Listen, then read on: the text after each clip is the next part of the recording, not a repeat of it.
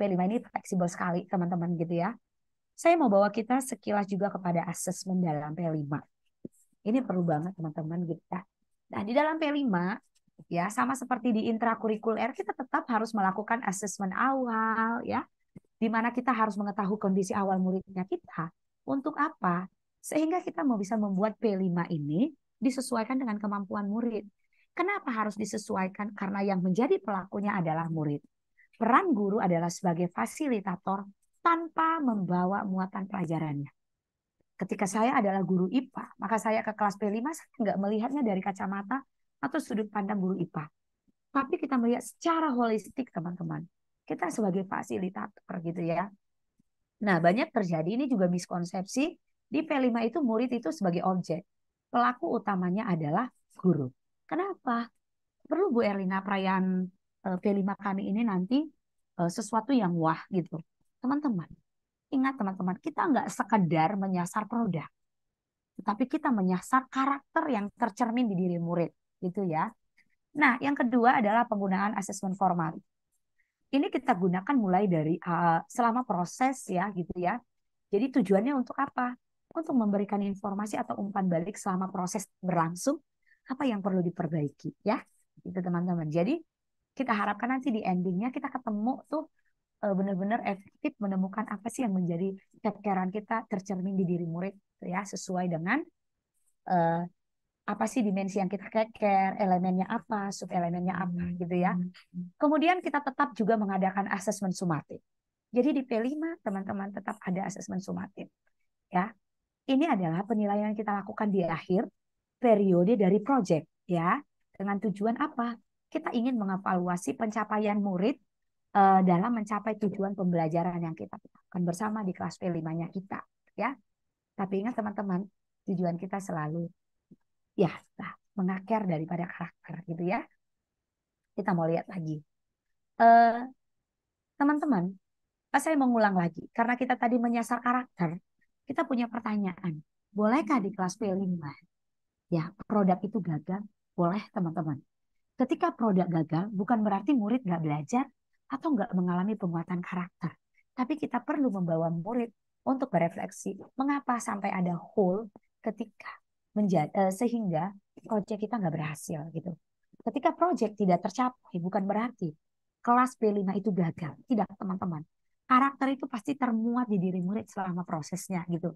Jadi ketika proyek juga nggak wah atau kok hasilnya nggak sempurna banget, nggak apa-apa, fine-fine saja gitu. Tapi kita juga perlu mereview kembali bukan berarti ya udah hasilnya nggak apa-apa nggak bagus gitu ya kita tetap uh, merindukan kelas itu menghasilkan sebuah produk yang sangat bagus yang juga nanti bisa dibagikan dan menginspirasi sekolah sekolah-sekolah ataupun peserta didik yang lain yang ingin juga melakukan atau yang mungkin bisa mengatm P5 tersebut seperti itu ya. Ketika memang kontekstualnya itu bisa menjadi isu atau keresahan di daerah yang ingin mengatm itu seperti itu ya.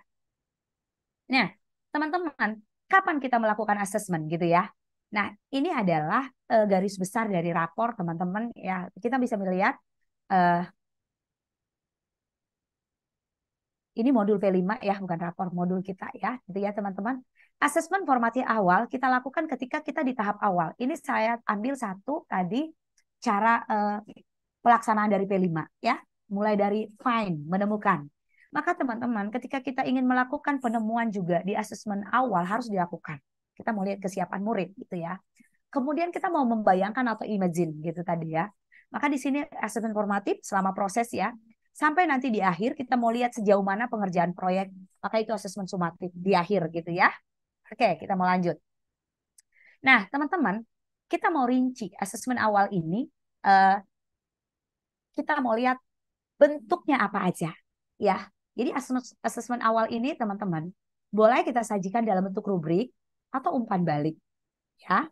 Eh, dari pendidik boleh, dari eh, peserta didik juga boleh, ya. Tergantung dari kebutuhannya kita, ya. Bahkan boleh lisan teman-teman. Kita boleh tanya jawab gitu ya. Sejauh mana pemahaman murid kita.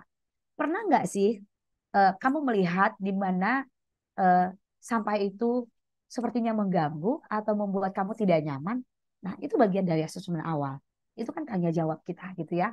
Nah, teman-teman, uh, asesmen awal ini perlu dalam penentuan dimensi elemen dan sub elemen yang akan kita buat. Dan juga kita bisa mengetahui kesiapan murid dalam melaksanakan pembelajaran berbasis proyek yang akan kita buat. Dan kita, teman-teman, akan mengetahui minat dan cara belajar yang disukai murid kita. Minatnya murid ini ke mana nih gitu ya. Ingat teman-teman, bonding yang kuat antara murid dengan guru akan membentuk keefektifan belajar yang lebih uh, ampuh gitu ya. Jadi kita perlu mengetahui minat murid kita gitu ya. Dan kita juga mampu mengetahui kondisi orang tua bahkan lingkungan. Sedalam itu ya teman-teman, kita bahkan sampai tahu gimana orang tuanya kita bisa bertanya dengan beberapa butir pertanyaan yang sesuai dengan apa yang ingin kita keker ke murid gitu ya yang menjadi gambaran asesmen awal untuk kita gitu. Nah, kita mau lanjut. Sebentar teman-teman. Oke. Nah, kita mau lihat karakteristik dari asesmen. Sebentar teman-teman, kayaknya terlewat ya. Nah, yes, kita mau ke asesmen formatif dulu ya. Ini teman-teman, asesmen formatif ini berkala sepanjang proses pembelajaran. Ya, berarti selama proses P5, guru harus melakukan asesmen formatif gitu ya. Nah, boleh berupa rubrik juga, boleh berupa umpan balik ya. Dari murid juga boleh ya ya. Nah, teman-teman, tapi tetap kita yang membimbing gitu ya. Nah, boleh juga berupa jurnal, boleh refleksi atau esai ya. Jadi teman-teman, selama asesmen formatif ini guru juga mengadakan asesmen formatif terhadap dirinya atau melakukan self assessment. Untuk apa? Kita juga perlu memperbaiki diri kita sebagai fasilitator gitu ya. Nah, kemudian teman-teman, mitra satuan pendidikan dalam proyek profil ini juga perlu mengadakan yang namanya asesmen formatif. Misalkan orang tua atau narasumber yang kita lebatkan ya eh, untuk membersamai di kelas P5.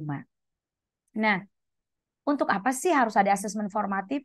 Kita mau mengetahui ketercapaian murid sampai saat kita akan melakukan asesmen formatif gitu ya. Kita juga nanti akan lihat tantangan dan keberhasilan murid gitu ya.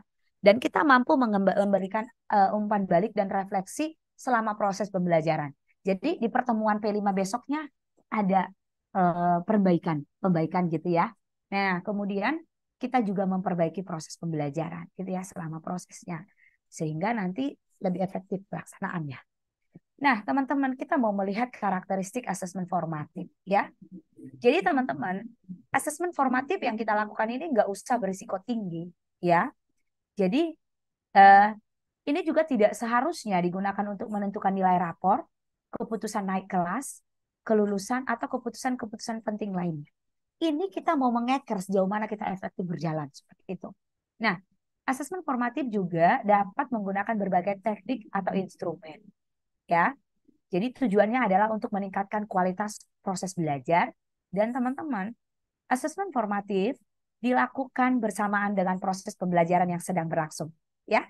Ini lagi teman-teman juga dapat menggunakan berbagai metode yang sederhana, ya dilakukan di awal juga boleh, ya. Dan instrumen asesmen yang digunakan dapat memberikan informasi yang tentang kekuatan dan juga kelemahan kita di mana. Ya. Nah, asesmen sumatif ini kita lakukan di akhir kita mau melihat gimana sih pengembangan kompetensi eh, diri murid kita dan kita bisa melihat mengeker apa sih proyek ke depan. Ah ini bisa salah satu ya.